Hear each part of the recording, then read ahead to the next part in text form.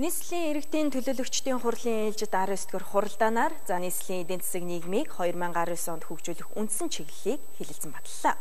Хот төвлөрлийг сааруулах дагуул хот, тосхон, шинэ суурьшлийн бүс дид төвийг үргэлжлүүлэн хөгжүүлж, иргэдийн эрүүл аюулгүй орчинд амьдрах нөхцөлийг сайжруулах чиглэлээр бодлогын ажлууд тусгагджээ.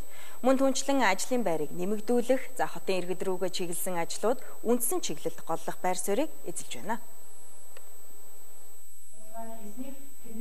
За үндсэн чиглэлд эдийн засгийн өсөлт өрх бүрд хот байгуулалт, дэдүүтэц байгаль орчин ногоон хөгжил, нийгмийн хөгжлийн за мөн засаглалын гэсэн чиглэлүүдээр ажил төлөвлөгдөжээ.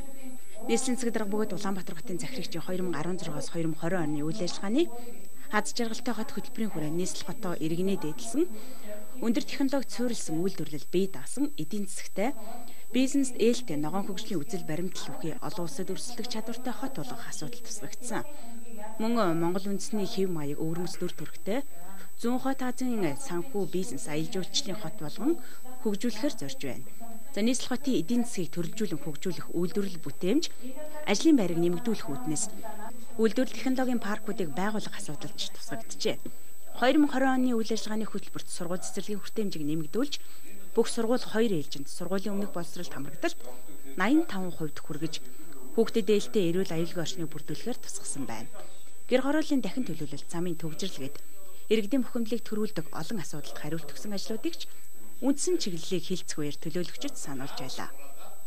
Мэдээж Улаанбаатар хотын төгжрлийг бууруулах ажлын хүрээнд гүүрэн болон давхар замуудын хоёр түвшний хотол төрхийг гүүрэн гарцуудын асуудлууд бол тусцсан явж байгаа. За нийтийн тээврийн салбарт бас парк шинжилгээ хийх асуудал бас үндсэн чиглэлд бол тусаад явж байгаа.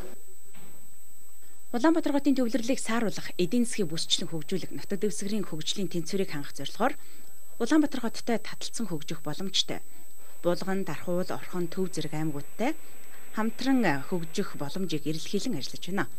За энэ ажлын хүрээнд 2019 онд аймагуудад төрийн байгууллага, төрийн өмчөд ихтэй сургуулиудыг нүүлгэн шилжүүлэх асуудлаар санал боловсруулалт засгийн газарт хургуулах юм байна.